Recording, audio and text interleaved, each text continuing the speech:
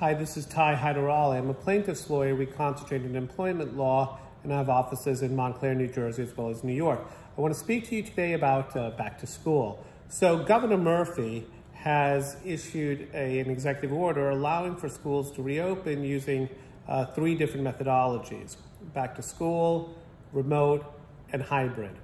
Uh, under a back to school analysis, uh, all teachers are back in the classroom 24 7.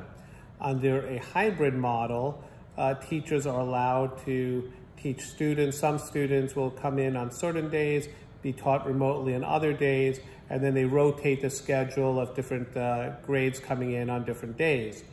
Full remote is all students all the time uh, being taught via Zoom or WebEx or some other platform. And Governor Murphy has allowed different districts to uh, pick their poison, so to speak.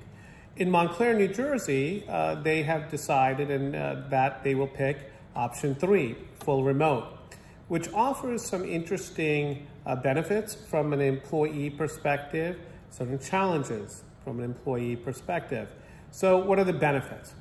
The benefits of full remote for a lot of uh, teachers as employees is uh, the most important one, which is protection from exposure to COVID-19 from students, other uh, teachers, administrators, employees that they would interact with if they were in the school setting, the physical settings being in school, where they're interacting with other, um, other teachers and uh, students, etc. Uh, that's the major benefit of being full remote. What's the detriments? Well, teachers are not equipped to uh, work remotely. They didn't go to school uh, thinking that they would be sitting in their home teaching uh, students who were sitting in their respective homes.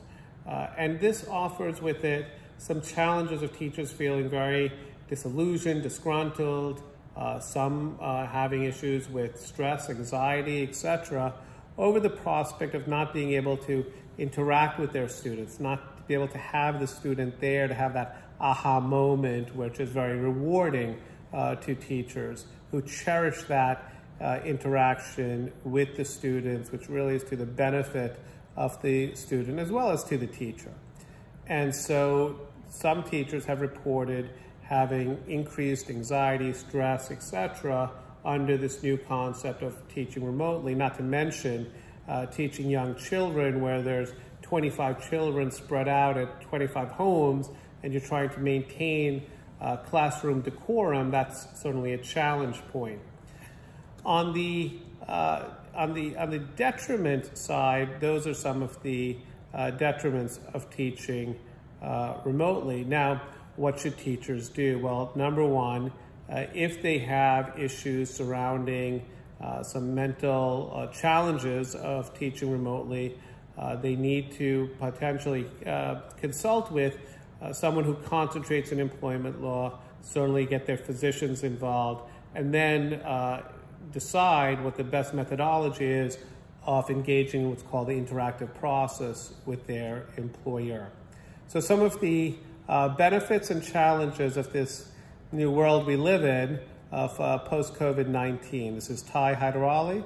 Be safe and be well.